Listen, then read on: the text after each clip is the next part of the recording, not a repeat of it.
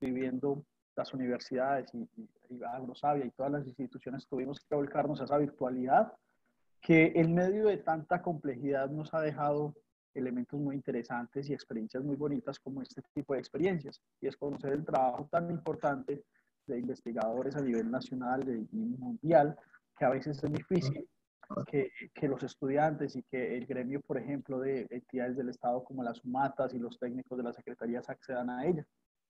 Y eso nos ha permitido a través de las conferencias que hemos venido realizando, pues este tipo de experiencias. Entonces, desde el Centro de Proyección Social, eh, les doy una bienvenida a quienes ya están con nosotros. Tenemos una participación de 45 asistentes en este momento y pues los, los que están también en el Facebook que, es un número muy interesante teniendo en cuenta que el día de hoy es un día en donde la mayoría de técnicos de, del sector, el sector productivo están en otras funciones y en otras actividades. Entonces es muy gratificante. Eso también habla muy bien, doctora, de su trabajo, de lo que usted representa para el medio y para unizar. Es un placer tenerla con nosotros. Doctora Luisa, doctora Shirley, les doy paso para que puedan hacer pues, la bienvenida oficial de la doctora. Bueno, doctora, eh, muchísimas gracias por haber acogido a este llamado que le hicimos desde la especialización de control biológico en marco de la asignatura Microbiología Avanzada. Para nosotros es un placer tenerla hoy aquí escuchando toda su experiencia con este tema tan interesante que son los baculovirus. Yo quiero antes que nada, pues a todas las personas que están asistiendo acá darles las gracias porque es un día difícil, pero saber que están acá nos motiva a nosotros cada día más para seguir haciendo este tipo de actividades. Y yo primero quiero presentarles a la doctora Elsa Judith Guevara Gudelo. Ella es una investigadora PhD asociada a Grosavia tiene un, un pregrado de ingeniera agrónoma de la Universidad de Los Llanos, tiene una maestría en entomología de la Universidad Nacional de Colombia en sede Medellín y tiene un doctorado en entomología, énfasis en, eh, patología de insectos de la Universidad Federal de Labras.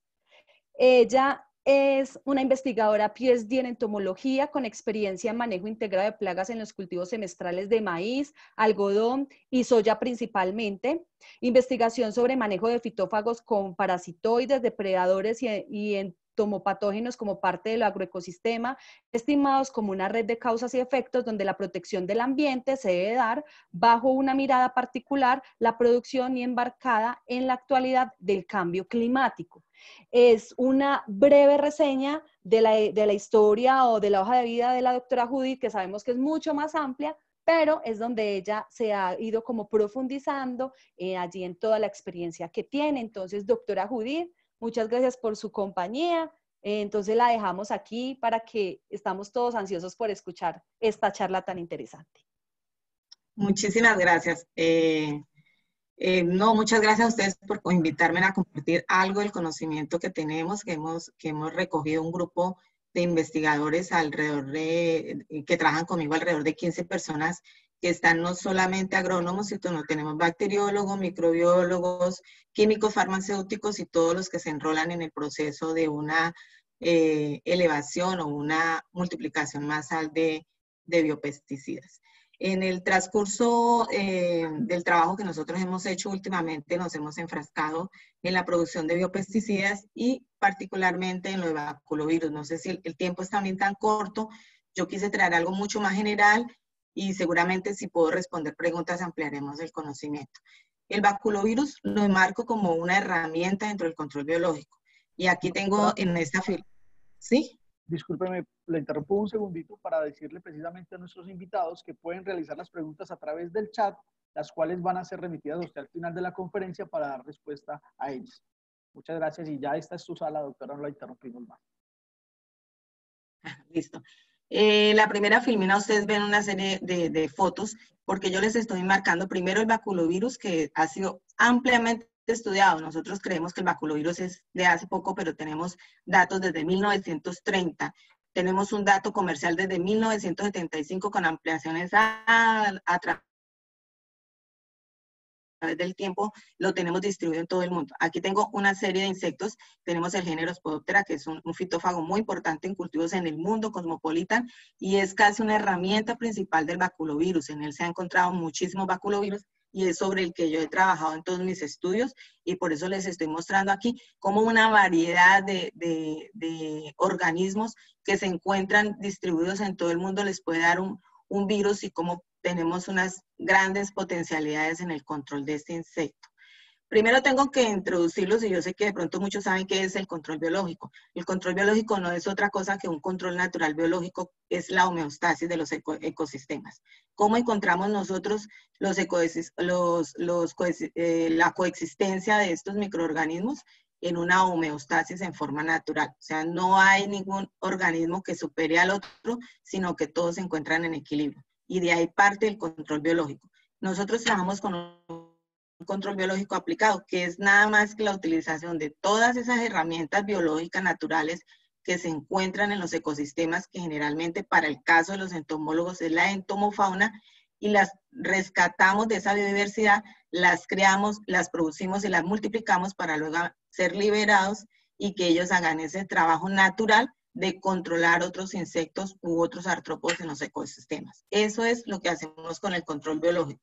Nuestro control biológico aplicado lo que busca es bajar eh, los porcentajes de, los niveles, digamos, de, daños económicos a un nivel, no eliminarlo, sino a un nivel bajo que no cause o que no compita con el recurso por el cual nosotros estamos sembrando un cultivo. Dentro de ese control biológico tenemos dos, dos grupos grandes. Tenemos los entomófagos y los entomopatógenos. Los entomófagos son los insectos que comen o que atacan directamente unos insectos. Y tenemos los entomopatógenos, que son todos los organismos que producen enfermedades en los insectos. Aquí yo les quiero mostrar en esta filmina la cantidad de enemigos naturales que nosotros hemos podido encontrar. Y hemos encontrado aquí el baculovirus, tenemos un depredador montina confusa, depredador de, de generalista de muchísimas larvas, de muchísimas plagas en, cultivos. Lo tenemos básicamente aquí en maíz y en soya. Tenemos todas las avispas que son grandes controladoras. Tenemos hongos, en este caso estamos trabajando con Lecanicilium lecani, hongo para mosca blanca. Tenemos hongos como Boveria baciana, tenemos otros hongos como metarricium, pero también tenemos dentro de los enemigos naturales los nematos, los mermítidos, que también controlan y matan, y tenemos los parásitos. Como vemos, es una gama amplia de control biológico natural que nosotros lo que hacemos es proveernos de ellos para multiplicarlos y aplicarlos. ¿Qué es un entomopatógeno? Un entomopatógeno no es más que un agente que genera enfermedades en los insectos. Y, y la enfermedad se forma de cuando? Cuando hay una relación estrecha entre ese patógeno, el hospedero, dentro de un medio ambiente. Y esa relación es dinámica. Eso le permite que, esa, que cuando hay dinamismo y haya esa compenetración de ese patógeno con ese hospedero en un medio ambiente óptimo, pues va a generar una enfermedad que le va a causar modificaciones a su hospedero, que pueden ser modificaciones morfológicas o fisiológicas. Dentro de eso tenemos aquí que los entomopatógenos que nosotros hemos trabajado, que trabaja el mundo eh, del control biológico, están los virus, los hongos, los nematos, las bacterias y los protozoarios. Pero en el caso de los virus, nosotros podemos decir, y yo lo determino como una partícula, porque no es un microorganismo en sí, porque no es una célula. Y todos estos microorganismos, denominados como microorganismos, son todos los que trabajan como agentes causantes de enfermedades de los insectos. En ese sentido, nosotros vemos aquí una, eh, eh, estoy mostrándoles una diapositiva de todo lo que puede causar, de todo lo que puede entrar de estos microorganismos a los insectos. Tenemos aquí a Bacillus thuringiensis, una bacteria que ha sido eh, la bandera del control biológico mundial. Aquí lo tenemos sobre Maruca vitrata, una plaga de soya. Tenemos a Numoria rilegi, un hongo que ataca Spotera frugiperda tenemos protozoarios y tenemos nuestro virus atacando Spotera frugiperda, pero también tenemos los nematos con quienes también hemos trabajado, el Nenema carpocapsi, con plagas eh, de verduras, en este caso una plaga de tomate. ¿Qué es un virus? Tenemos que conocer por lo menos qué es lo más simple, qué es lo que yo puedo determinar como que es un virus. Es una entidad biológica no celular. Por eso hay una discusión amplia en el mundo diciendo que el virus no es un microorganismo, el virus es una partícula, es una entidad biológica porque no, no tiene toda la connotación de una célula, no tiene los organelos de una célula. Es una, son de dimensiones muy pequeñas y él no se multiplica como los organismos, sino que hace una replicación. ¿Una replicación de qué? Del ADN o del RN que lo tiene, que es la materia que, con la que él puede sobrevivir. No almacena energía porque no tiene los organelos que tienen las células y por tanto, como necesita para multiplicarse, no multiplicarse, sino para reproducirse o replicarse, necesita de otras células, entonces se convierte en un patógeno obligatorio. Entonces, sea, hemos determinado que simplemente es una partícula pequeña que necesita de otras células para poder multiplicarse, replicarse y causar algún efecto y tener un éxito reproductivo como lo hacen todos los organismos en el mundo. En la actualidad, eh, tenemos, se han reconocido más de 1.600 virus en 13 órdenes, 14 familias, 33 géneros y más o menos 1.100 especies. Yo coloco estos datos que ustedes lo consiguen en la literatura, pero es para mirar la magnitud de lo que conocemos, pero es más la magnitud de lo que desconocemos dentro del ámbito de las enfermedades y las patologías virales. Esto es para mostrarles a ustedes unas tablas de todo lo que son la cantidad de virus, pero de todos estos virus, estos tres estos tres, eh, los iniciales, baculovirus, reovíridos y oxivíridos son los que están determinados o que usamos nosotros en la parte de control biológico. Sin embargo, eh, en, el área de control biológico nos hemos eh, enfrascado en los baculovirus. ¿Por qué? Por esto que dice aquí al final. No afecta vertebrados. O sea, no tiene ningún, se utilizan en control biológico, pero no tienen ningún control sobre vertebrados ni, ni tiene ningún efecto colateral. Tiene que ser solamente en artrópodos y, y, no en todos los artrópodos, sino que tiene unas características especiales que hace que estos baculovirus sean tan específicos. Dentro de los baculovirus tenemos dos grupos, ¿no? Están los, los eh, baculovirus y los granulovirus. Los granulovirus son más específicos, menos estudiados porque tienen un rango de hospedero mucho más pequeño que los baculovirus. En este sentido, la estructura de un virus, ¿cuál es? La estructura de un virus es esta que se parece a la, la que han mostrado últimamente con el problema de la pandemia de los coronavirus. No es más que un ácido nucleico de doble cadena, que puede ser RNA o DNA, envueltos en una capa eh, proteica y se forma así una cápside. Se llama nucleocápside, que está envuelto en otra proteína eh, grasosa, oleosa o lipídica y se convierte entonces en el virón, en el virión, que es el que lleva, que es la partícula viral que va a ser la infección. Ese, esos, esos baculovirus son interesantes porque tienen la característica de ser oclusivos, o sea, todos los baculovirus están encerrados, encerrados en un cuerpo. Y ese encerramiento es una capa proteica. En este caso podemos encontrar que esos viriones pueden tener varias nucleocápsides y a su vez pueden haber dos o tres o cuatro eh, viriones en, una, en un cuerpo de inclusión, o sea, incluye muchos viriones y se llama multinúcleo poliedrovirus o si son pocos, simples núcleo poliedrovirus o puede ser los granulovirus, que ya no, no hay sino un virión y una cápside. Esto es para mirar las diferencias entre el baculovirus y los granulovirus. En ese sentido, les quiero mostrar aquí muy bien cómo es estas tres partículas, cómo funcionan. Aquí tenemos el cuerpo de inclusión, que yo se les había contado, que tiene una cantidad eh, de billones, la determinada. Aquí yo les estoy mostrando unas fotos en microscopía electrónica, lo que nosotros vemos en un microscopio normal, microscopía electrónica, para ver los poliedros y hacer casi como que eh, un corte transversal para ver la cantidad de viriones que podemos encontrar en un cuerpo de inclusión. Todo lo que tenemos aquí es una parte proteica y en este cuerpo de inclusión tenemos un virión que los traemos aquí para mostrarles. Este virión tiene aquí el núcleo del ADN cubierto por una capa proteica, una cápside, que esta a su vez está cubierto por esto que se llama poliedrina, por eso es, se llama baculovirus núcleo poliedrovirus. Pero también en este sentido tenemos los llamados virus brotados, que son aquellos que luego de hacer la infección en una célula, después de entrar, ellos se brotan para hacer la infección célula a célula. Entonces, lo que queremos, lo que quiero que quede claro es que los virus están, los baculovirus están dentro de un cuerpo de inclusión que posteriormente liberan estos viriones y estos viriones, algunos de estos, después se convierten, y vamos a ver más adelante, en unos viriones que van a hacer otra infección. Entonces, la primera infección va con el virión y la infección segunda de célula a célula la hacen los virus brotados. Entonces, el virus ocluido o el virión causa la infección insecto-insecto. Un hospedero infectado contamina a otro hospedero y entonces eso lo hace el virión. Pero dentro del insecto, dentro del huésped, quien causa la infección secundaria, si se puede decir, es el virus brotado. En ese sentido, ¿qué características hay? Entonces, los baculovirus tienen dos tipos de virus, los nucleopoliedrovirus y los, granulovirus. ¿Qué características tienen? Los dos tienen ingestión de poliedros. Se necesita que el insecto o el hospedero consuma el virus o entre por sus mucosidades y le sea ingerido.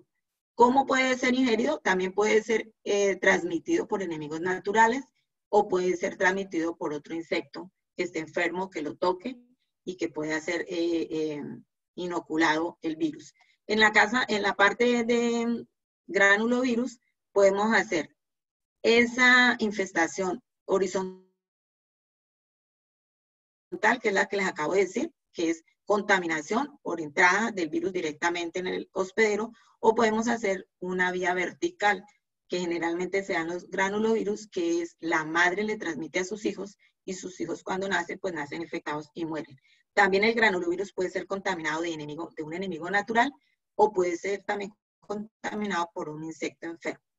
Estos dos eh, baculovirus se, se, diferencian en que los síntomas del primero, del, del baculovirus típico, es claro, la epidermis, el tejido es adiposo, eh, hay pérdida del insecto en el apetito, el aspecto de la hemolinfa es turbia, es, es eh, uno diría, no es oscura, sino es, no es, homogénea en su color, pero es un color, un, café muy claro, y tiene un geotropismo negativo. O sea, va hasta, eh, va, sube, pero él, intenta caer o descolgarse hacia la parte del suelo. Y generalmente lo que hace para ya liberar sus, sus viriones es el rompimiento de la epidermis. En los granulovirus sucede lo mismo, solo que en los granulovirus el color es más claro y la hemolinfa es un poco más turbia. ¿Cómo sucede la infección en un insecto? Bueno, esto es, esto es una, una, una explicación muy corta, porque tendríamos que entrar mucho en la anatomía, pero quiero decirles que la especificidad de los baculovirus es por el pH. Entonces, el insecto encuentra los, los cuerpos de inclusión, que en, inglés son OV, entonces son consumidos, el cuerpo de inclusión entra al mesenterio al estómago, la parte media del insecto, allí el pH está entre 9 y 11, algunos, algunos investigadores hablan de 8 a 11 de pH, o sea, es completamente básico. Hay liberación o dilución de ese poliedro, libera los viriones. Los viriones atraviesan la membrana peritrófica del estómago y se unen directamente a buscar una célula, a las vellosidades de la célula y penetran directamente al núcleo. Allí en el núcleo, las cápsidas empiezan a hacer la replicación del genoma y hacer la multiplicación de los virus. Lo que hace básicamente es que interrumpe los mensajes que tiene la célula del metabolismo normal del insecto para introducir eh, unos mensajes de replicación del virus dentro. Algunos virus pasan derecho del citoplasma, no entran al núcleo y van directamente a la traqueola del insecto para posteriormente, y estos son los que llamamos virus brotados, los que pasan directamente del citoplasma a la traqueola del insecto, virus brotados utilizan la membrana de la célula, entran a la traqueola y empiezan a infectar todos los tejidos que pueden ser los, eh, principalmente la hemolinfa del insecto. Los síntomas son estos, ¿no? Aquí tenemos una espotra frugiperda naturalmente bien, normal. Cuando el insecto eh, empieza a tener la infección, entonces empieza a perder primero movilidad, apetito más o menos a las 24 horas, empieza a, haber rompimientos de tejidos, por eso empieza a ponerse acuoso, eh, el insecto a las 48 horas ya no se mueve, ya cesó su alimentación y se queda quieto y empieza, algunos empiezan a tener eh, regurgitar o vomitar, como se llama de forma natural. Estas son características típicas de un insecto que tiene baculovirus. Aquí muestro otro abajo.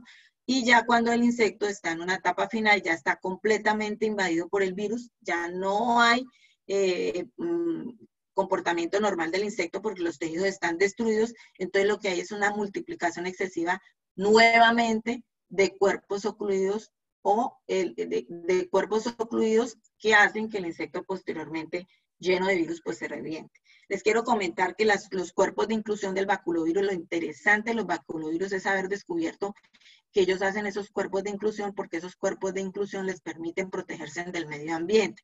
Entonces, si nosotros encontramos virus sin cuerpos de inclusión, cuando salen el sol, las, los rayos UV, los desactivan. Mientras que en el cuerpo de inclusión, esa, esa, esa proteína lo que hace es protegerlo del medio ambiente. Por eso son ocluidos y por eso los baculovirus son muy importantes en el desarrollo de, de, aplicaciones masivas, porque lo que aplicamos son cuerpos de inclusión o lo que se liberan son cuerpos de inclusión que pueden mantenerse en el ambiente mientras se encuentran un hospedero para empezar a hacer la infección. Aquí les quiero mostrar cómo es, cómo encontramos nosotros una una larva de espodóptera, pero ya no con, con núcleo polidrovirus, con baculovirus típico, sino con el granulovirus. Y fíjense la diferencia completa, el color es mucho más claro y, y, el tamaño pues depende del lepidóptero que, o del hospedero que, que haya infectado el baculovirus. En la diapositiva anterior estábamos diciendo que las maneras de transmisión era la ingestión, que es como les ingiere, ingiere el poliedro y el poliedro se suelta en el, en, el, intestino y empieza a hacer. Pero tenemos otra por enemigos naturales. Muchos estudios hemos hecho y, con Brasil se hizo unos estudios en el control biológico con parásitos y depredadores. Eh, no les traje aquí con parásitos porque la parte que yo manejo y tendría que hablar mucho más. Entonces con depredadores encontramos la tijereta es una dermátera, que es un, enemigo natural muy, muy común en todos los cultivos transitorios, en bosques también se encuentra.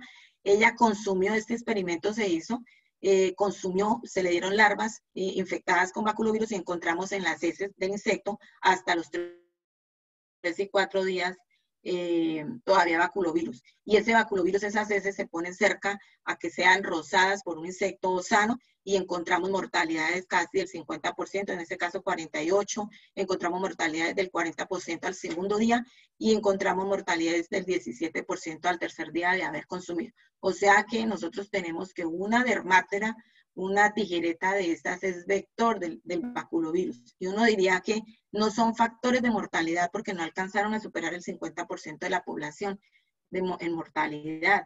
Pero una tijereta en el campo no se encuentra, se encuentran miles de tijeretas en el campo. Entonces nosotros determinamos, o, los investigadores en este sentido, eh, eh, eh, el doctor mm, Catillejos ha publicado muchísimos artículos eh, dando la razón de la importancia de aplicar el control biológico en todos para mantener todas estas poblaciones de enemigos naturales que pueden ser transmisoras de todos estos baculovirus. Hablamos de la especificidad y cuando se habla de especificidad en baculovirus y uno da conferencias, dice la gente, no, es que son tan específicos que, que tan, es tan poquito el rango de control que es que trabajar con baculovirus. Y yo les quiero mostrar, aquí hay una lista larga, pero les quiero mostrar los, contrarios. Por ejemplo, este virus que ataca 39 especies de lepidópteros, del orden de lepidópteros, y de ese orden que son pertenecientes a 13 familias. Y uno dice, ¿eso es específico? No, es amplio, dependiendo a lo que yo le esté llamando especificidad. El del gusano de la seda eh, nos está atacando más o menos siete familias de lepidópteros. Aquí tenemos el de este, el NPV de esta lepidóptera está atacando 31 especies de lepidópteros en 10 familias. Y uno diría, es una preferencia alta. Mientras que vemos el, este NPV de Brasica, que ataca 32 especies solo en 4 familias de lepidópteros. Y dentro de todos estos, los más específicos son los granulovirus que pueden infectar y son solamente atacan el orden de lepidópteros y dentro de ese orden algunos granulovirus solo pueden atacar un género de esos insectos. Entonces, fíjense que la especificidad de estos, de estos baculovirus depende eh, eh, el proyecto de control que yo tenga, si es tan amplio o es tan corto. Igual en el mundo se ha encontrado que algún NPV o algún baculovirus puede también afectar a otro, como está aquí, a otro, a otro insecto de otra familia, pero sus condiciones o su sintomatología o su entrada es completamente diferente. Por eso los baculovirus establecen interacciones únicas con su, hospedero, con su hospedero que definen su susceptibilidad y su influencia por el medio ambiente. Yo quiero decir aquí algo muy importante en los baculovirus y es que ahí se nota la coevolución de un organismo que es obligatorio y que necesita de otro. Y como yo necesito del otro, entonces yo necesito conocer muy bien a mi hospedero y ver cuáles son las partes, las partes frágiles para poder entrar. Y en ese sentido, un baculovirus no, no se comporta de la misma manera con un hospedero que con el otro. ¿Qué ventajas tiene utilizar el baculovirus en control biológico? Persistencia en campo. Desde que haya hospedero, haya eh, eh, ambiente, él persiste, yo aplico y él persiste. Es seguro para los organismos no blancos, o sea, para los vertebrados, para todos los que no sean insectos que tengan el pH ácido en su estómago. En el caso de las dermáteras, no lo ataca la dermátera porque ellos son, su estómago es ácido. Entonces, donde hay acidez, no hay ningún problema, no hay eh, no hay daño porque no se liberan los viriones del cuerpo de oclusión, sino que pasan directamente a las heces. Lo mismo ocurre con los, con los parásitos, cuando los parásitos atacan o ovipositan sobre una larva con baculovirus, su oviscapto, su ovipositor sale contaminado y vaya, ataca a otro y le transmite el virus, pero en su cuerpo no sucede nada porque tiene otro pH diferente al básico. Entonces, alta especificidad, producciones comerciales se encuentran en todo el mundo, es una herramienta dentro del manejo integrado de, plagas y se puede combinar con varios pesticidas, incluso el pesticida hace que la larva sea mucho más susceptible. desventaja la misma especificidad, porque la mayoría de productores utiliza un producto de amplio espectro para matar tres o cuatro eh, especies de fitófagos plagas, mientras que este le está sacando solamente controlando una especie. Eh, otra desventaja es que la muerte es lenta, entre 5 y 8 días estamos encontrando muertes, pero lo más interesante de esto es que esa residualidad la hemos encontrado y estudios que yo he tenido hasta 15 días en el campo con una sola aplicación. Y la variabilidad en la eficiencia, porque depende de la, producir. Estos baculovirus son muy exigentes en la producción y se puede, es muy difícil estandarizar los lotes, pero una vez estandarizados, eh, la eficacia es alta. Dificultades técnicas y económicas en la multiplicación, porque se tiene que, eh, los virus se tienen que trabajar en organismos vivos, no podemos producirlos en arroz como los hongos o en cosas inertes, sino en organismos vivos, y multiplicar hospederos y hacer crías en laboratorio, pues es muy costoso porque es personalizado. Bueno, desde ese sentido les quiero mostrar, hay muchísimo en el, en el mundo, pero algunas eficacias interesantes. Este baculovirus, por ejemplo, en su eficacia el 90% de control en forma natural y lo tenemos establecido en Estados Unidos, en Tailandia, en los Países Bajos, en Egipto, por ejemplo, y estamos encontrando que de ese 90% de control, el 60% de las larvas que lo cogen a las 48 horas están muertas.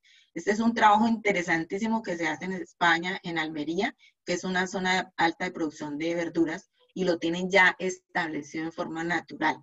Tenemos el agranulovirus, el granulovirus que está muy establecido en Francia, ya lo venden en forma comercial con controles del 80%. En California tenemos muchos, muchas experiencias de control biológico con baculovirus muy buenas, pero tenemos sobre Spoptera lituria, en alfalfa y en algodón con poblaciones de controles por encima del 89%. Y tenemos posteriormente aquí nosotros para mostrarles que en Florida, en Estados Unidos, en China también encontramos sobre arroz, algodón y maní. En Guatemala eh, es interesante encontrar que un país tan pequeño como en Centroamérica, en Guatemala, ya tenemos más de 3.000 hectáreas trabajadas con baculovirus y en Brasil empezaron con 10.000 hectáreas, empezaron con 1.000 hectáreas, 2.000 hectáreas, de 1.000 hectáreas y ahora tenemos 2 millones de hectáreas con el BPN de anticarcia genmatales con controles superiores al 80%. Yo quería mostrarles aquí que este complejo no solamente está en cultivos transitorios, sea, en frutas, en té, en verduras y en bosque, desde Canadá hasta la Argentina. Aquí para mostrarles eficiencias, no, no, no sé si están viendo el pulsor, pero para mostrarles controles y mortalidades de las ciudades del 90, ah, listo, 93%, 93% y 100% de control. El trabajo que hace el doctor Cruz, con quien alguna vez tuvimos la oportunidad de trabajar en el 97 para mostrarles que desde el 99, desde el 99, 97, 99 hasta acá se han hecho trabajos eh, fuertes con el control de baculovirus, no solamente viendo su mortalidad y su residualidad. A los tres días tenemos controles en mortalidad del 100%, tres días después de aplicado, sino que también se han hecho trabajos eh, en combinación con, con control biológicos de parasitoides y hemos encontrado que con parásitos, aplicando el baculovirus, mezclándolo en, en, aplicaciones simultáneas con parásitos en campo, se ha encontrado mortalidades del 80, 88 y 90%. O sea que es una herramienta eficaz dentro de un paquete de manejo biológico.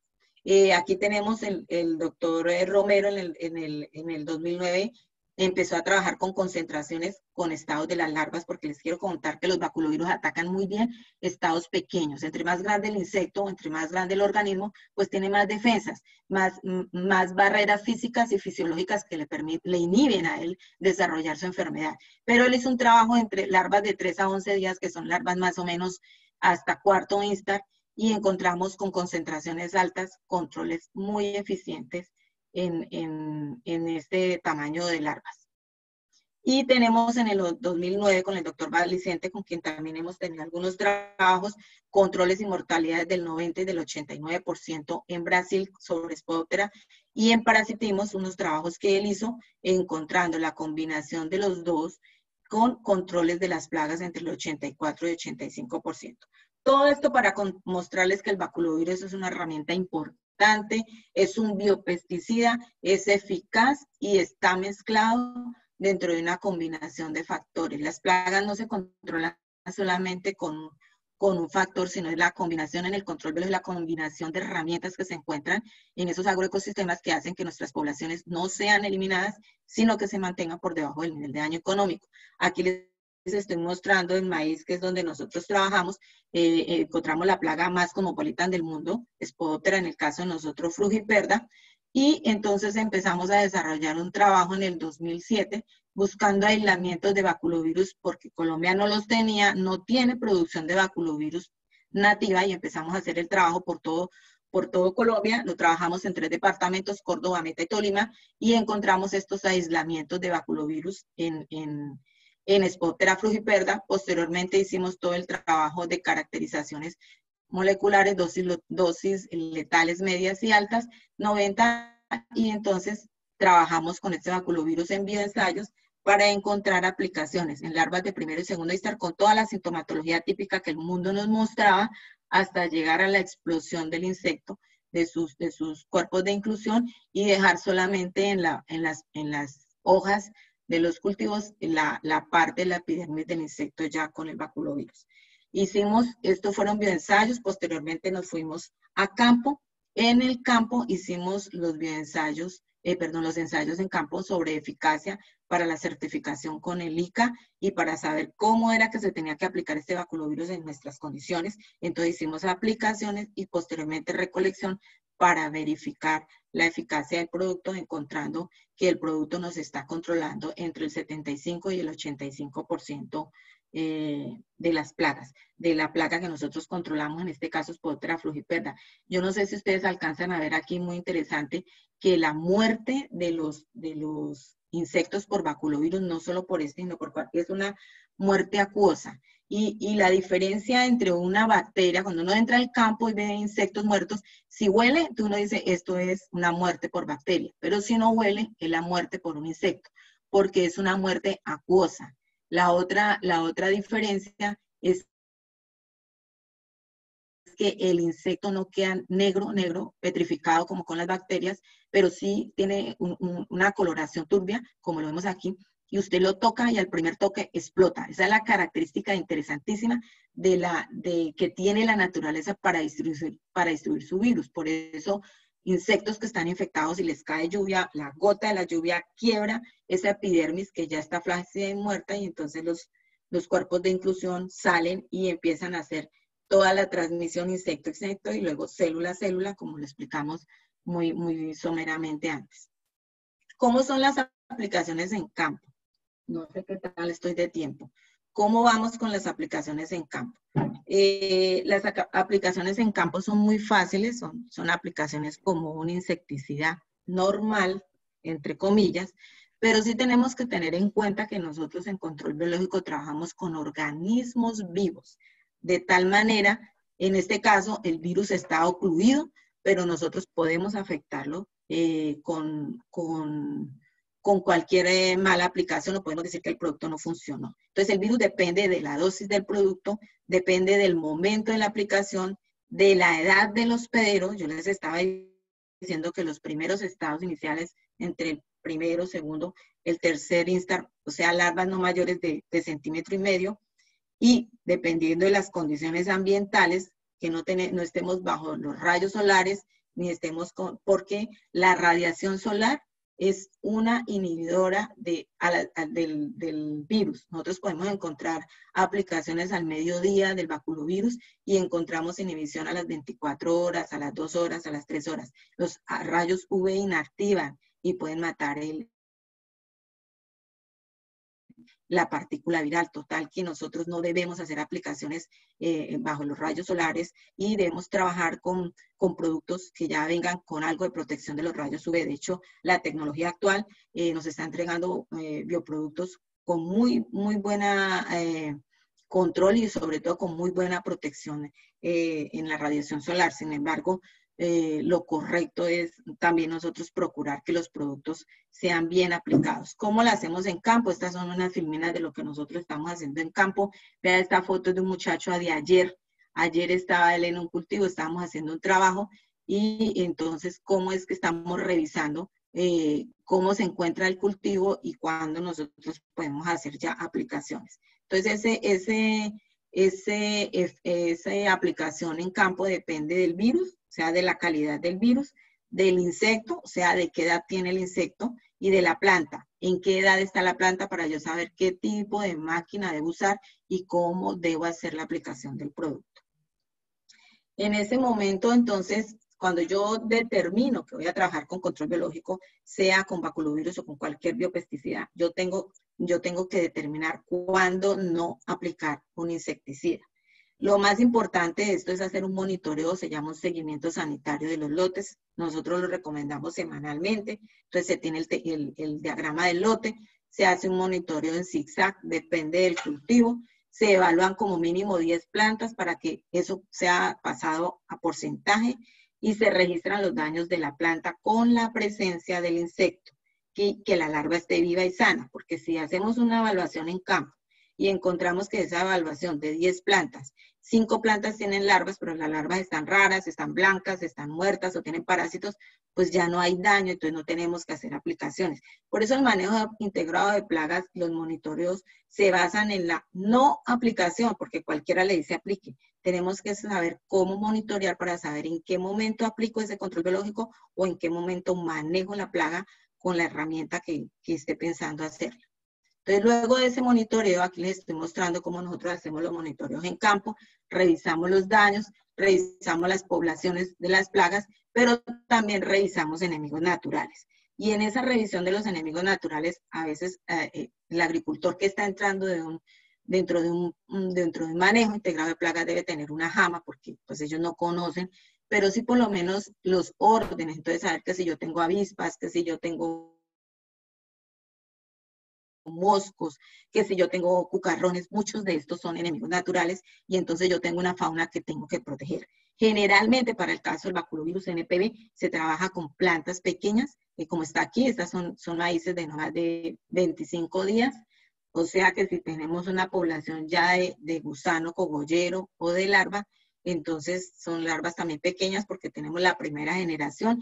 La mayoría de los insectos que se, se montan en un cultivo tienen ciclos más cortos que el cultivo, entonces pueden hacer dos o tres generaciones. Y al hacer dos o tres generaciones podemos encontrar generaciones traslapadas.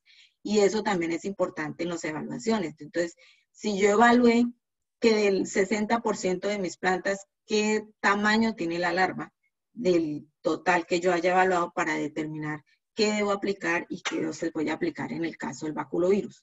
Entonces, tenemos que hacer todo esto, revisar, revisar. Si yo encuentro postura, con certeza ya puedo aplicar un baculovirus, porque si yo que no, no veo tanto en campo encuentro una postura, deben haber miles de ellas y ya deben estar todas o muchas naciendo. Entonces, el momento de hacer una aplicación de baculovirus que me controle eh, las larvas que están pequeñitas. Eh, generalmente para el caso de NPV en maíz, nosotros lo recomendamos en raspado, casi que no tienen que hacer evaluación, entran al campo y ven estas hojitas así comidas, entonces decimos ya hay larva, eh, pequeña y entonces hacemos la aplicación. ¿Cómo se hace la aplicación? Es la oportunidad que nos da la aplicación en el campo. Entonces, la hacemos con la aparición de las primeras posturas o ese daño en raspado. Se puede utilizar una máquina de espalda, un pulverizador o un tractor. Generalmente eh, la gente aplica, los vaculoduros no necesita hacerles aplicaciones con harto líquido, a veces los tractores utilizan 400 litros, nosotros estamos utilizando 200 litros y esa misma es la cantidad que utilizamos eh, para una bomba de espalda. Generalmente se van 10 bombas de espalda por hectárea, entonces utilizamos gota pequeña. Número 3, bajo volumen, pero no ultra bajo volumen a veces, porque el ultra bajo volumen a veces dispersa. La boquilla tiene que ser en cono para que sea dirigida y debe ser temprano en la mañana, o sea, antes de las 9 de la mañana o en la tarde, ojalá después de las 4 de la tarde, con preferencia y con mis experiencias los hemos hecho después de las 4 de la tarde, hemos encontrado eficacias del 95% de control, porque en, esa, en ese trabajo tenemos que también saber el hábito del hospedero que yo estoy manejando. En el caso de los lepidópteros, la mayoría de los que son noctuis, pues trabajan, se llaman noctuis porque su, su, su, vida o su éxito lo hacen en la noche. La, cop, la cópula, el consumo lo hacen en las horas de penumbra. Entonces, si lo aplicamos en las, a las 4 de la tarde, vamos a tener una presencia del baculovirus en las hojas hasta y no hay radiación solar, entonces no hay evaporación, entonces vamos a mantener ahí para que sea como recurso alimenticio al hospedero, a la plaga que lo está consumiendo y sea fácilmente ingestado y pueda hacer su eficiencia. Si yo aplico hoy a las 4 de la tarde, con certeza en 48 horas ya puedo encontrar insectos inmovilizados, en 76 horas puedo encontrar insectos ya gordos, casi eh, regurgitando, y en 96 horas, a partir de las 96 horas, puedo encontrar cuatro días, cinco días muerte de los insectos y se va hasta las ocho días dependiendo de la dosis.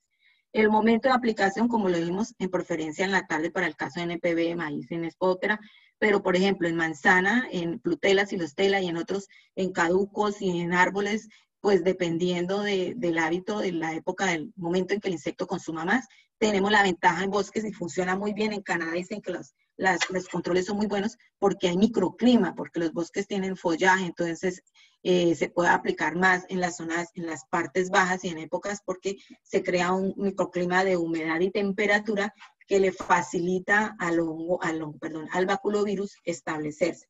Los baculovirus tienen un óptimo de temperatura entre los 25 y los 30 grados. Y nosotros tenemos y, y humedades relativas que pueden ir entre 75, entre 75 y 85 con un efecto buenísimo para hacer una eficacia en campo. Entonces, si nosotros tenemos esas condiciones y en bosques se crean esos microclimas, pues el efecto del baculovirus va a ser muchísimo mejor. ¿Qué perspectivas de uso ha tenido el baculovirus en el mundo?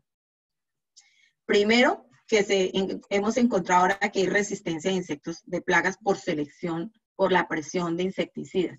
La presión de insecticidas lo que ha hecho es la selección de diferentes plagas y entonces aparecen también plagas artificiales, plagas que no son plagas, pero les matamos sus depredadores o sus controladores biológicos y entonces ellas quedan libres, tienen un éxito reproductivo exponencial y entonces empiezan a multiplicarse para volverse plagas realmente importantes.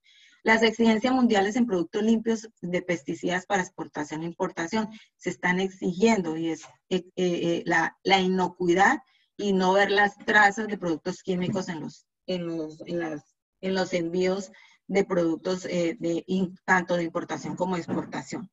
La persistencia en el campo de patógenos crónicos. Nosotros sabemos que este, este, este baculovirus es crónico, él puede quedarse en el campo. Yo puedo hacer aplicaciones y se queda en el campo y entonces eso permite que se mantenga a través del tiempo.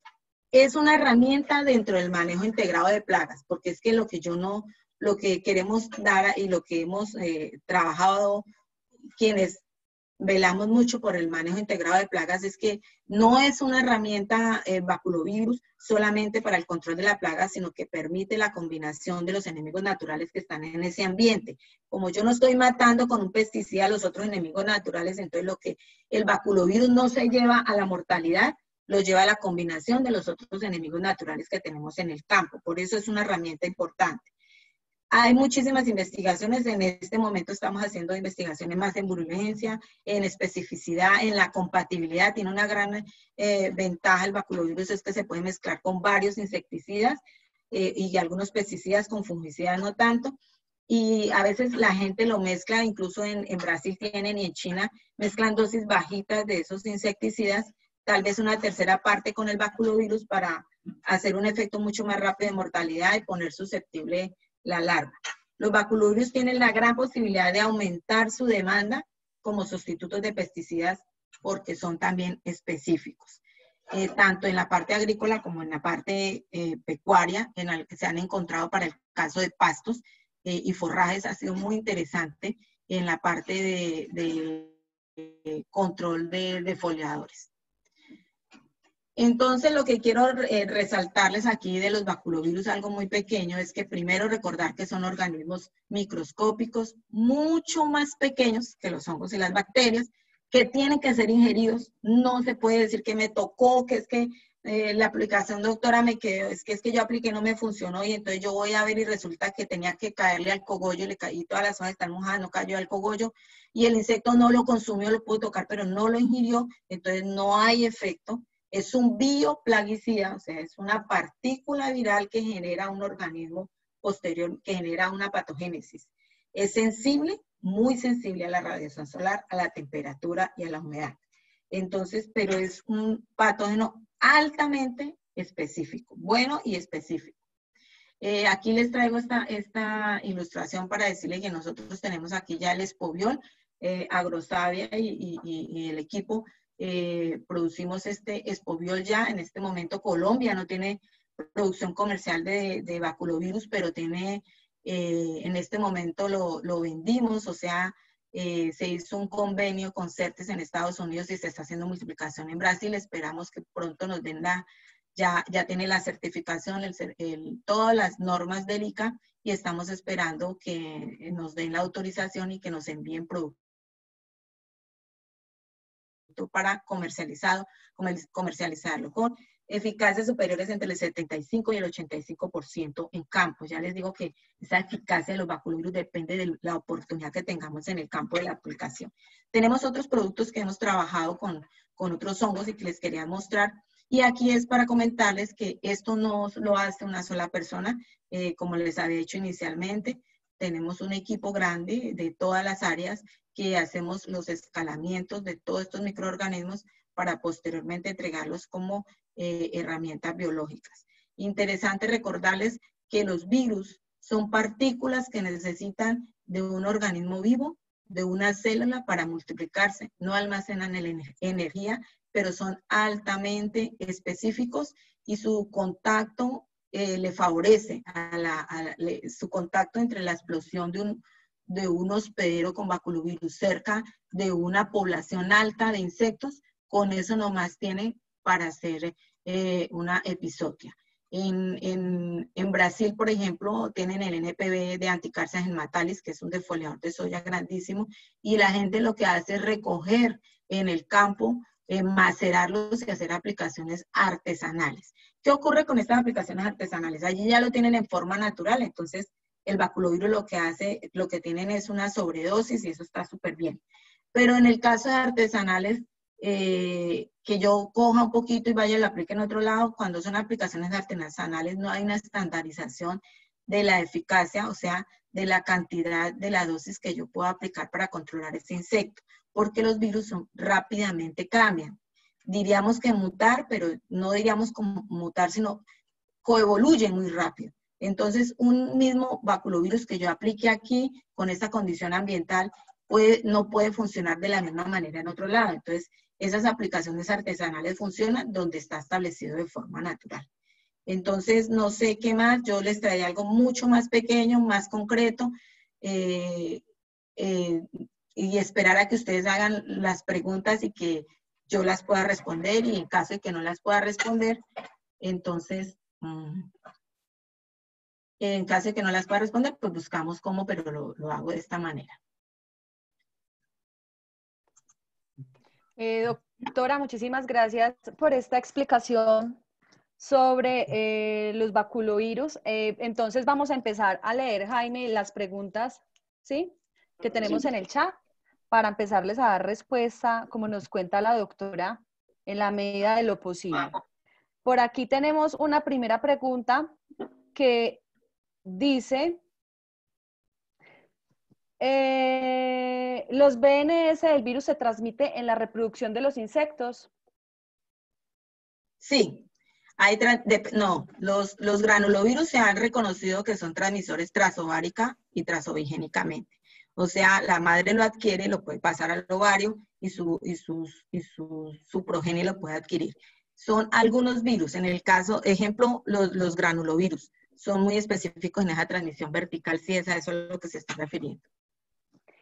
Muchas gracias. Acá hay otra que dice, la partícula de virus transmitida por consumo quiere decir que esas partículas se posan en hojas. Eso, las, las, las que los, los cristales, como dice, pueden poseer solo que nosotros, lo que se aplica, sí, son posadas en hojas, pero eh, están ocluidos, o sea, el, cuerpo de, de, inclusión es lo que queda en el medio ambiente y se posa en la hoja, el, el, insecto lo ingiere y al ingerirlo, entonces se degrada por el pH en el estómago del insecto. Sí, señora. Yo respecto a eso tengo una pregunta, doctora. ¿Cuánto tiempo pueden durar esos cuerpos de oclusión en el ambiente? Si, digamos, no llega un insecto, ¿qué tiempo puede durar esto activo? Bueno, en el, en el, en el caso de las hojas muy poco. Puede durar 24, 48 horas y por radiación solar se pueden se, se inactiva. Pero en, eh, uno encuentra reservorios de baculovirus en el suelo por un año, dos años, tres años, porque los cuerpos de oclusión de algunos, de algunos baculovirus se han encontrado en el suelo eh, eh, como encapsulados. Y desde que se mantenga óptimo, no le llegue la radiación solar, podemos encontrar reservorios en el suelo. De hecho, es allí donde nosotros tenemos almacenamiento de BPN. Ya. Aquí hay otra pregunta. ¿La transmisión tras ovarium en qué consiste? Bueno, eh, no, no, no, quería entrar en el en porque para explicarles eso tendría que explicar la anatomía, pero en poca, irme más hasta allá. La transmisión vertical trasovárica, el insecto la ingiere, puede ingerirlo. Por ejemplo, se ha encontrado últimos estudios, un adulto, por ejemplo, que que usted sabe que los adultos del lepidóptero son, tienen esproboxi, entonces no consume, succiona, por ejemplo, una sustancia con un baculovirus lo puede succionar, puede ser eh, eh, una dosis muy pequeña, lo lleva en su interior y lo, y lo transfiere y hace todo un metabolismo que tendrá que explicarle para llegar al ovario y entonces sus hijos o sus huevos van ya con el, con el, con el baculovirus lo transmite al ovario tras, tras ováricamente. Hay otra situación, entonces ya cuando nacen, la mayoría de los lepidópteros nacen y se consumen el corio o la cáscara del huevo y ahí van a morir. Entonces ella no muere, pero ella lo transmite a sus hijos y sus hijos mueren. En ese caso, eh, hay un, un, trabajo interesantísimo eh, de, de, un trabajo de, de una, se utilizan feromonas, utilizando este sentido, se utilizan feromonas atrayentes de machos. Entonces los machos llegan y estos machos se contaminan estas feromonas con el baculovirus, el macho copula a la hembra y en la cópula le, le, inyecta el baculovirus y entonces estos huevitos que ya están a punto, ya no necesitan sino la fecundidad, la fertilización, nacen y ya nacen también con el baculovirus. Entonces pueden ser de varias formas, pero llevarlo a los ovarios de la hembra eh, y mantenerse ahí y sus hijos ya van contaminados. Entonces es posible y hay algunos estudios y hay discusiones altas en que, bueno, yo apliqué un baculovirus o el baculovirus está muy poquito en forma natural en el campo, no me controló la larva, pero usted en su segunda generación o tercera generación la va a encontrar más alta, porque si esos insectos tienen, están transmitidos trasováricamente, pues su posterior generación, la segunda o la tercera, va a ir minimizando. Eso no es en todos los virus, es algo muy específico, es estudiarlo mucho y es más en los granulovirus. Listo, doctora. Por aquí, José Álvaro Hernández nos pregunta, ¿puede existir antagonismo entre los baculovirus y algunos parasitoides o depredadores de otras plagas que se estén manejando en el cultivo? Que antagonismo no, no sé a qué se refiere porque, porque primero son, son especies diferentes. Con lo que hemos encontrado en los estudios con, con parasitoides, por ejemplo, los parasitoides no, en campoletis, en la mayoría de los que, los que hemos estudiado, no se podrán otros estudios, eh, el parasitoide cuando llega a, buscar el insecto no, no discrimina que esté infectado, que tenga el baculovirus. Entonces puede llegar a hacer la oviposición de su progenie dentro de una larva que esté con NPV o con baculovirus. Eh, lo que sucede es que no van a ser, puede, puede afectar la larva del, del parasitoide, no porque la afecte por la enfermedad, sino porque cuando nacen las larvas no tiene alimento, porque ya está todo destruido por el baculovirus, entonces eh, la progenie es baja o nace poquito. Entonces lo que hay ahí es una relación intraguilda, un efecto, eh, dos organismos eh, compitiendo por el mismo recurso biológico y, y entonces lo que diríamos antagonismo es que puede afectar el éxito reproductivo de un parásito si el parásito se demora en salir antes de que el insecto muera por el baculovirus, porque un parásito utiliza su hospedero para consumo y si el, el, el recurso alimenticio está malo, pues no lo consume, entonces muere. Entonces, no, no diríamos que es antagonismo, sino es un efecto de, una, eh, un efecto de intraguilda entre, se llama intraguilda cuando hay un, un, un factor, un, un enemigo natural afecta al otro por la condición que sea, en este caso porque están peleando por un recurso alimenticio. Entonces puede afectarlo porque no encuentra recursos para multiplicarse el parásito, pero no porque le afecte el baculovirus al parásito, porque los parásitos generalmente tienen, son ácidos en su estómago. Ok, el mismo señor José Álvaro pregunta que si hay alguna investigación que se haya realizado para manejo de prodiplosis longifilia. No, no, no, no, no conozco. Debe haberla. No, no, no conozco. Eh, Lina Cortés pregunta, aunque el baculovirus es específico a nivel de insectos, ¿hay posibilidad de que este virus pueda mutar y hacer infección dentro de la planta donde se encuentra la plaga? Bueno, hay una cosa, yo, yo tenía una conferencia más larguita para mostrarles esta pregunta, la hace todo el mundo y es súper importante. Eh, la gente se asusta. Claro, hay muchísimas, ya hay varias investigaciones hablando de tragénesis. Nosotros hablamos de, de, de plantas eh, con BT, ¿no? Con Bacillus thuringiensis. Pero también están pensando en que hay transgénesis con BT, con NPV, con baculovirus. Claro que ah, ya hay estudios que han demostrado que cuando, cuando se inyecta un BP se transmite un gen de BPN a una planta, la puede transmitir y puede hacer efecto en los insectos. Ya hay estudios adelantados. Pero hay un trabajo muy interesante que personalmente conocí al, investigador, eh, que le dio de comer, eh, es una, eh, con un áfido en una brasica, en una, como en una col. El, el insecto fue consumir, le hicieron consumir MPN, un baculovirus, el insecto consumió sobre la planta, contaminó la planta y posteriormente le pusieron insectos sanos y los insectos sanos murieron. Entonces, lo que se vio en ese trabajo muy interesante es que el baculovirus se fue por el floema, entró en la planta, estuvo vinculado en la parte fresca de la planta y uno diría cómo un virus eh, va a atravesar una pared celular tan fuerte, porque esa es la primera barrera, sobre todo celular en, una planta que es tan fuerte, pero las, las células de las plantas tienen unos espacios pequeñitos que llaman plasmodios y por ahí el virus corrió e hizo infección. Entonces, no es que la planta mute, bueno, con ingeniería genética es colocarlo como la tragénesis de los BT, sí, colocarle el gen del VPN, pero se puede hacer, ya hay estudios que han mostrado que se puede hacer. Eh, Arturo Caicedo pregunta, ¿en las aplicaciones de bioinsecticidas hay resultados de la penetración del virus en los estomas de la planta? No, no tengo conocimiento, no hemos estudiado de, de transmisión sistémica así como le estábamos diciendo por la planta, puede ocurrir. No, no, no tengo conocimiento de eso. Realmente nosotros lo hemos enfocado más al efecto sobre, sobre los insectos. Podría ocurrir lo que estábamos hablando antes, ¿no? La planta lo puede de pronto pasar por el floema y mantenerlo un tiempo, no más de 24 horas. Creo que sucedió en este experimento y se encontró, pero no tengo conocimiento. Eh, Lina Cortés pregunta, ¿cuánto dura la efectividad del baculovirus desde la primera aplicación? Eso. Generalmente uno aplica y puede estar, mata a los cinco, entre 5 y 8 días, usted encuentra el insecto muerto y esta es la eficiencia. Pero la residualidad la podemos encontrar, yo he encontrado residualidades hasta de 14 y 15 días en el campo, claro que va bajando la mortalidad. La más importante son los primeros tres días, es una alta eficacia. Fruis pregunta, ¿qué experiencia conoce sobre el uso de baculovirus para el control de barrenadores de semilla y fruto en aguacate?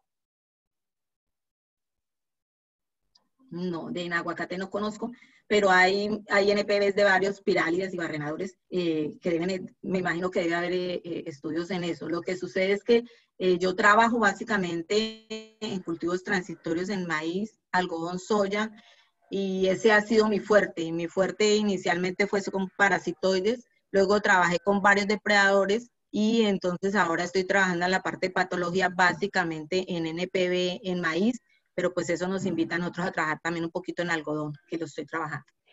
Eh, nos preguntan también el señor Arturo Caicedo, ¿el suelo es un reservorio de los virus y se pueden eh, reciclar en las plantas donde están los hospederos? ¿Cómo es ese proceso?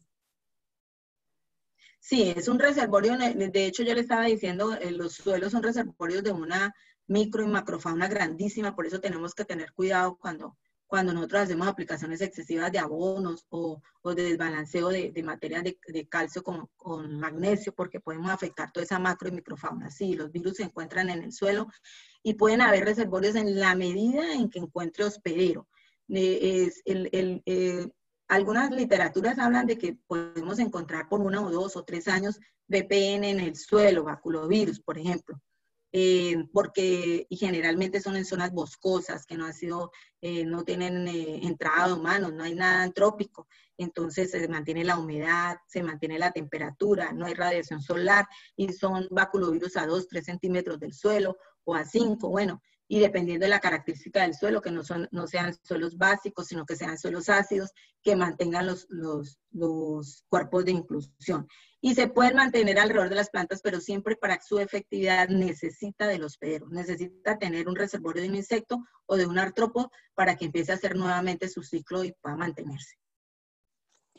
Eh, aquí no está identificado quién es, pero alguien pregunta, en el marco de la investigación aplicada, ¿qué posibilidad hay de contar con espoviol de agrosavia para probar su capacidad infectiva en lepidópteros de frutales?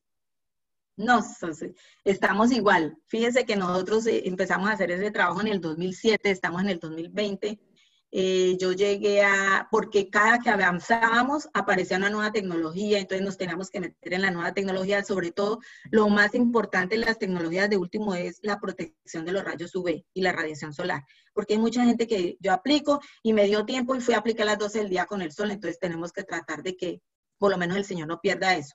Esas son tecnologías muy avanzadas. Nosotros hicimos el trabajo, yo mm, monté los protocolos de eficacia para el ICA hace tres años, cuatro años nos dieron los registros y, y, entonces las empresas internacionales les interesó el producto, el producto va con una alta tecnología, lo compraron y estamos esperando, nos dijeron que en noviembre del año pasado, estábamos esperando ahorita en febrero y apareció la pandemia, eh, porque lo están aplicando, lo están evaluando en Brasil y lo están aplicando en África. Pero esperamos que este año, a finales de año, ya tengamos el espoviol para la gente y con toda la tranquilidad les puedo decir que funciona y que empecemos a trabajar en otras especies. Qué bueno, doctora. Por aquí, Ángela Viviana Cárdenas nos pregunta, buenos días, ¿es posible explicar cuál es el vector o quién mantiene vivas las partículas del virus en campo mientras hace el proceso infectivo en el insecto de interés? Bueno, el, eh, y, habló de una palabra interesantísima, el vector. Vectores, por ejemplo, un vector es un parásito que lo, que lo transmite en su, en su ovipositor, les está contando, o un depredador que consume una larva y en sus heces lleva el VPN, entonces ese es un vector. Y, y, pueden aparecerse. En campo, yo les, ya les he repetido, en suelo, en los suelos, suelos muy específicos, óptimos, con, un, con una pH que le favorezca, generalmente son pHs entre 4 y 5 pHs ácidos para que no disuelvan el, el cuerpo de oclusión y se mantienen con esas, eh, con esas características por un tiempo. Pero si en ese tiempo no encuentran un receptor para multiplicarse, para replicarse más bien, porque es la replicación del ADN y del RNA, entonces él se inactiva y se muere. Entonces, eso depende de cada, de cada baculovirus y sobre todo que yo lo que les decía es que los baculovirus tienen una coevolución increíble. Mire, yo puedo aplicar un VPN en Spotera fruiperda y él atraviesa la membrana peritrófica, se pega a las vellosidades de las células en unos receptores específicos. Y yo vuelvo y aplico ese VPN, por ejemplo, en un heliotis, y ya no, siendo el mismo organismo, siendo la misma partícula viral, no se pegan esos receptores, sino en otros receptores y causa otro tipo de síntomas y ya no causa la misma mortalidad. Entonces, él sí necesita un momento para, multiplicarse en un hospedero, pero algunos han durado hasta unos dos años en suelo. Vamos a terminar ya, doctora. Faltan cuatro preguntas y con esto damos cierre a, esta, a esta parte de las preguntas. ¿Será más eficiente aplicar encima o en el en vez de la hoja? Digamos un producto, cuando ya salga este producto que ustedes procesaron en el mercado, ¿cómo es más eficiente, en el as o en el en vez? Bueno, depende. Nosotros lo sacamos para cogollero del maíz, entonces nos interesa es que sea en el cogollo, se hace en el as. Tiene que caer, por eso hablamos, todos los insecticidas se aplican con boquilla cono. Tienen que llegar directo a donde está el insecto. Pero si la plaga o el insecto, hay algunos eh, gregarios que se hacen por el en vez de las hojas, pues lo aplicamos por el en vez de las hojas. Lo que procuramos es que esté en la boca pues, del insecto para que lo pueda consumir. Entonces depende del hábito del insecto, depende del insecto y depende de, de la planta para yo utilizar el mecanismo, que puede ser bomba de espalda o a veces puedo entrar con un tractor con una boquilla pequeña, pero ultra bajo volumen, entonces alcanza a llegar a cualquier lado. Eh, acá Franklin nos está preguntando, Franklin Alberto Mosquera, en el cultivo de aguacate se ha hecho aplicación de baculovirus para controlar insectos. Eh, la doctora ya nos contestó que ella no tenía conocimiento en esa parte de aguacate. Y si puede volver a ver el video, este video va a quedar grabado y va a quedar en la plataforma de, de Unizar en Facebook. Ahí pueden acceder otra vez para que vuelvan a ver con calma la presentación de la doctora. Y la última pregunta que encontramos por aquí es, ¿afecta especies no plaga de cultivos? ¿En qué cultivos los han aplicado comercialmente y en qué momentos se puede mezclar con herbicidas? Perfecta, qué pregunta tan interesante. Eh, no afecta eh, otros insectos, no, esa, esa, es la ventaja del baculovirus, no afecta eh, blancos, o sea, no blancos, o sea, solamente porque como es tan específico, yo le aplico es para eso y él, usted lo puede comer otro y no lo afecta por los pHs que tienen los otros organismos. ¿qué, era la otra pregunta? se pueden mezclar, claro, se puede mezclar con, algunos insecticidas y con, con herbicidas es, no es lo recomendable eh, no sé, como nosotros realmente las experiencias las hemos tenido con insecticidas para, o yo lo hice en alguna ocasión para ver el efecto, para ser más susceptible, bajar la dosis del insecticida, pero eh, algunas publicaciones dicen que los mezclan con un herbicida y que les ha funcionado. No sé si es el BPN, pero puede ser porque esas partículas solamente se mezclan y sale. Lo que necesitamos es que se aplique y que no leer los rayos solares. No sé, e, no sé si la respuesta sea la correcta porque en eso no tengo conocimiento, pero aprovecho para decirle que me hablaron tanto de aguacate que me voy a poner a estudiar esta semana lo de aguacate, a ver si le puedo mandar la respuesta de VPN en aguacate. Muchas gracias, doctora. Pues no hay más preguntas por el momento. Le agradecemos mucho su tiempo, doctora. Eh, excelente presentación, muchísimas gracias por todo lo que pudo compartir hoy con nosotros, como darnos esa apertura mucho más allá de lo que es un baculovirus, que pues muchas personas no sabemos realmente el trasfondo que pueda tener este virus y cómo puede actuar. Le agradecemos mucho por haber aceptado nuestra invitación. Jaimito, no sé qué más quiera decir. Yo quisiera, si me permite, Jaime, antes de cerrar. Claro que sí, doctora. Claro, doctora. Pues a, agradecerle a la doctora Judith Guevara eh, habernos acompañado en la especialización, a todos los asistentes y a los estudiantes de la especialización de esta cohorte, pues creo que nos ha iluminado con una cantidad de, temas, nos ha dejado muchas inquietudes, que era lo que realmente desde la especialización estamos buscando. Eh, las preguntas sobre aguacate, muchas provienen eh, efectivamente de nuestros estudiantes que trabajan en ese renglón productivo y que seguramente ya están inquietos queriendo explorar por ese lado desde el punto de vista investigativo y desde el punto de vista práctico, eh, lo que la doctora nos acaba de demostrar, muy completa la charla, muchísimas gracias. Y a los asistentes recordarles pues que Unizar cuenta con este programa de posgrado y cualquier información que requieran al respecto, pues con mucho gusto por intermedio de Jaime, de la profe Luisa o ahorita en el chat les dejo el correo mío para poderles dar información y a la doctora dejarle las puertas abiertas de la especialización para ensayos, para mm, todo lo que Agrosavia ah, necesite, pues acá en este momento tenemos 14 estudiantes de la especialización donde podríamos eh, mirar muchas oportunidades para apalancar. alianza de pronto.